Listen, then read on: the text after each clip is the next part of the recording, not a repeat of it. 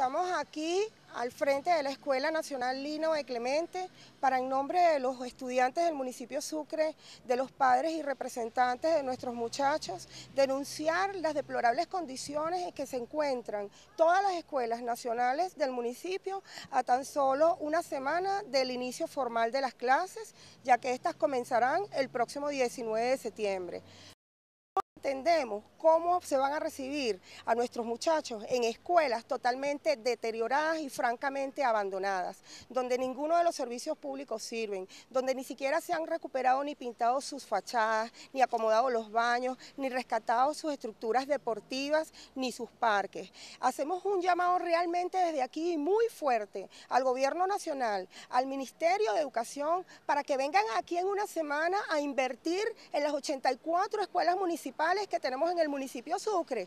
Vamos a ver si tienen tiempo de hacer la Contraloría Social, señores, en una semana. Ponemos a su disposición los listados de todas las escuelas nacionales que se encuentran en nuestro municipio. Ya lo dijimos, son 84 y no es posible que solo 5 estén en buenas condiciones.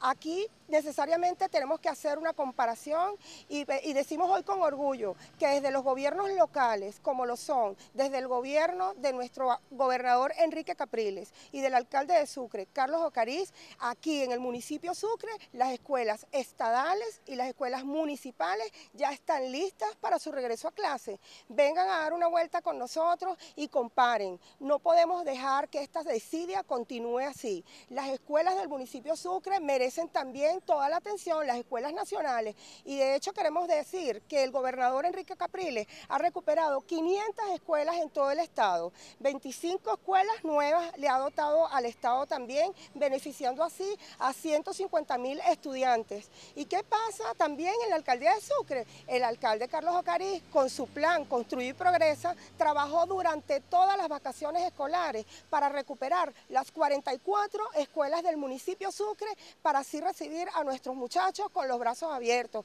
en escuelas dignas, en escuelas de calidad, en escuelas que fomentan justamente lo que son las ganas de estudiar y la excelencia educativa tienen una semana, señores del Gobierno Nacional y señores del Ministerio de Educación, para invertir lo que ustedes no han invertido. Ustedes no invierten en el futuro de nuestros jóvenes, de nuestros estudiantes. Pareciera que no le importara el estudio y la excelencia educativa. No queremos, no queremos nosotros que a mitad de año paren las clases y fomenten ustedes mismos la deserción escolar y la inasistencia.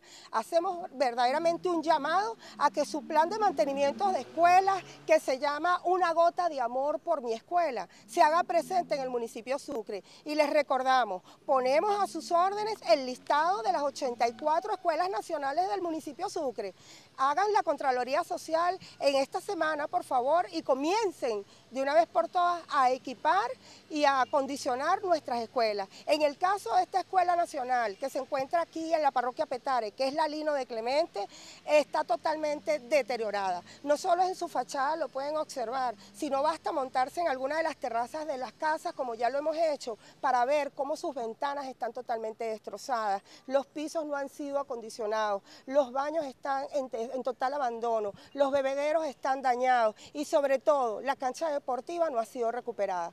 Entonces, hacemos énfasis en que los gobiernos de progreso, los gobiernos de verdad eficaces y eficientes, sí se han preocupado aquí en el municipio Sucre por acondicionar todas las escuelas locales estadales y municipales para así recibir con los brazos abiertos a nuestros hijos, a nuestros estudiantes, a nuestro futuro, que son nuestros muchachos del municipio Sucre. Aquí pueden ver en estas fotografías el estado deplorable en que se encuentran las escuelas de la desidia, las escuelas del abandono, versus las escuelas del progreso. Estas son las escuelas verdaderamente eficientes. Esta escuela fue recuperada en el día de ayer y se encuentra ubicada en el barrio José Félix Rivas. Y en su verso pueden observar también la recuperación que el gobernador de Miranda ha hecho en las escuelas estadales en el municipio Sucre, ubicadas tanto en Petare, Mariche, Caucahuita como en La Dolorita. Estas son las escuelas recuperadas por el alcalde Carlos Ocariz y por, por el gobernador de Miranda.